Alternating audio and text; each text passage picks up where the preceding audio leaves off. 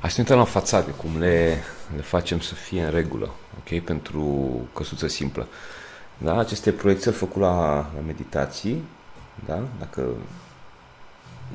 vezi planșele tale aici și ești deja mine la cursuri, uh, da, ai înțeles cam despre ce e vorba.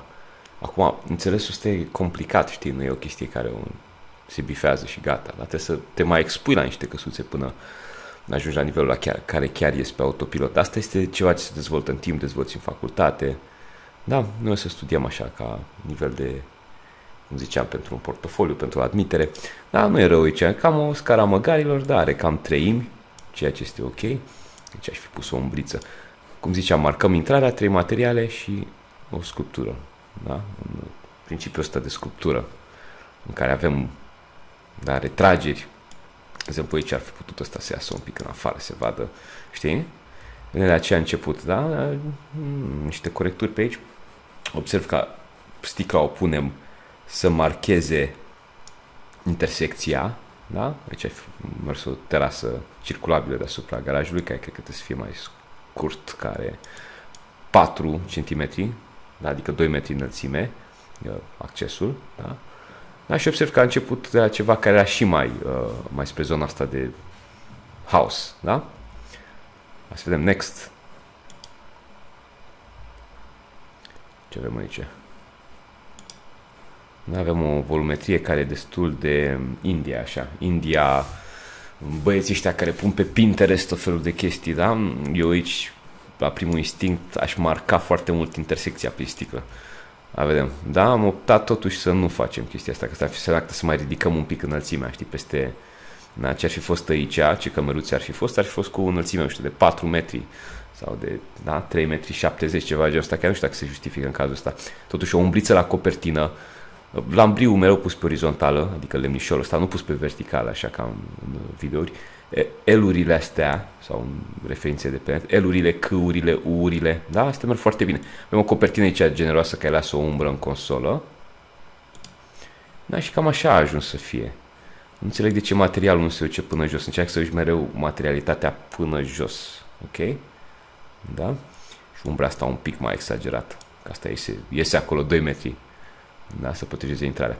Uh, da, avem, ia uite ce treime drăguță. Da? Ia uite-te tot felul de, bine, din nou, aceeași chestie, de ce materialul nu se duce până jos, nu pot să înțeleg chestia asta și materialul ăsta, să un alb, știi, un alb simplu, ok? Da, uite ce goluri pătrățoase pe volumul din lemn și benzi pe volumul uh, alb, foarte bine. Da? Două feluri diferite de, de, de goluri pe două volume diferite. Da, și ce e foarte ok, da? Deci vreau să evidențiez aici tot așa materialitatea să ducă până jos și poți să dai luciri de astea de lumină dacă lumina ar fi venit din partea cealaltă, stânga sus. Da? Și cam așa a început. Da? A fost un proces ăsta de studiu până ajungi la fațada asta. Toată lumea vede rezultatul final, dar nimeni nu se uită la, la proces. Da, uite ce alambicată și butucănoasă este, uite. Simetriile astea locale mă sparg, da? adică faptul că ai gemulețul fix pe mijloc. Da, nu vrei chestia asta. Vrei să fie mereu treimi. Da, uite cum am corectat. Și aici începe să fie parcă o simetrie locală. Axul ăsta. Da, nu vrem pe acesta. Să fie, să domine unul din cele două mai mult, dar mai multă sticlă sau mai mult material. Hai să vedem. Da, vezi, am optat pentru mai multă sticlă. Da, și banda asta se întoarce, o intrare tot așa marcată foarte puternic prin această consolă. Mi se pare că intrarea e pe partea asta, da, deci nu se vede ușa. N-ai volumul dat în față. Bun, aici avem ceva mai mod, postmodernist, să zicem. Da? N-aș strica o intersecție asta cu sticlă și cu... Da, aici n-ar fi trebuit să fie hașurat. Da? Că în spate, cum ar veni, spatele balconului. Ehm, tot așa, materiale simple, da? alb, sticlă și textură. Textură ce mai bine la îmbriu, orizontale. Da? Deci avem ceva cu curburi. De obicei eu nu prea, nu prea mă omor după gesturi de genul ăsta, sunt gratuități, dar am zis că în cazul persoanei acestea, da, acestui elev, da, rare și dacă vezi, uh, Um, am zis că e mai bine să, să încercăm și pe curburi un pic, să încercăm altceva, doar că să te obișnuiești cu altfel de plastică, da? Și asta ar fi trebuit să fie tot pe curbură. Dacă, dacă tot am inserat acest limbaj vizual, să-l ducem până la capăt. Observ cum uh, lemnul se duce, e un traseu vizual, se creează impresia asta, că se rotește în spate și iese prin, uh, da? prin căsuță, ceea ce este fantastic, ea și partea de sculptural. Da, și cum am zis, am început de la ceva simplu, el a vrut neapărat pe curbura aceasta, e să adăugăm tot felul de curburi, ca să-i adăugăm uh, da, acel ceva special. Da, uite, a început cu curbura și am zis, măi, hai să-i adăugăm un pic de, să exagerăm limbajul ăsta vizual, da? Pe principiul ăla, ca la cum făceau băieții ăștia apa de gură, care nu, nu putea să schimbe gustul, avea un gust oribil, știi? Dacă e o chestie din aceasta exagerată, feature it, da? Exagerează și mai mult ca să fie clar citită, știi? Dar asta e iarăși o abilitate care se obține cu greu. Um, prea, prea ritmate, pam, pam, pam, pam, pam, prea multe goluri la fel. Ne-am pus orizontale, am pus un L, da? Și tot așa devine mult prea ritmat. Nu vrei să ai desene în acestea cu gemuleț sus, cu... Da, nu... Nu sunt chiar atât de interesante cum ai credea. Și că am optat să lăsăm aici un pic mai mult plin, știi? Plin, masiv, cărniță, da? Ia uite câtă cărniță are asta, da?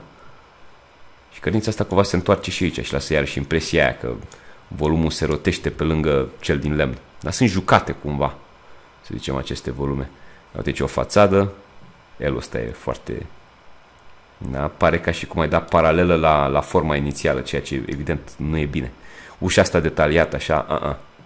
Da? Și că se punem orizontală aici, dăm elul ăsta mai mare și după aceea punem o bucățică de lemn care cumva să pară că plutește, știi? Și lemn aici din nou. Aici un vizor de ăsta de spartana, zice, da? adică un unghi de 45 de grade sau un unghi ciudat. Nu mă mor după genul ăsta de limbaj vizual, dar e, e foarte important să mai experimentăm. Da? Și ceva de genul ăsta merge. Îmi place mișcarea care e imprimată de pac-pac, cum e ăsta. Poate eu aș fi făcut așa. Știi, și aici aș pus o jardinieră, ceva. Dacă se implice și mai mult că se duce în jos. Da, diferență de... Uite, avem aici lemnișor și cu... Um, evident, lemnișorul ăsta să fie cu un pic de luciri pe el, cu verde, da? Observ cât de diferit e față ce vedea pe stradă, să zicem, la căsuțe. Din simplu motiv că, da, e foarte bine, asta e o casă idealizată, să zicem, că e simplificată. Dar și ce o să faci în facultate și ce o să faci mai încolo, tot în zona asta te se ducă, că asta e arhitectură relativ calitativă. Ce un volum foarte orizontal, foarte simplu, elul ăsta, da? și cu volumul ăsta detașat din alt material, două orizontale și rest, cum ziceam, plin, da? cărnița aceea. Da? Observ că toate volumele astea au fost făcute să zicem că aplicând o doctrină de limbaj vizual, da? limbaj din acesta modernist, da? și uite ce a început. Gemulețe multe mici, n-arată bine. Or, oricum ai drege oricum ai vrea tu să o improvizezi. Mie îmi place personal o casă care are un perete așa mare și o formă în spate ascunsă, da? Dar fațada tot trebuie să fie în zona aceea, da? De volumetrie. Ce e bine, um, nu știu cum am completat aici gemulețul ăsta. Parcă ar fi dus copertina asta, ce fi mers cu corector peste, știi? Să acopere markerul. Observ că erau prea, prea ritmate, așa, prea benzile astea.